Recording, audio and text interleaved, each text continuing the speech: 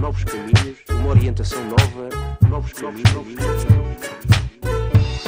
Ficar a olhar, ficar a olhar, nossas bocas para cantar.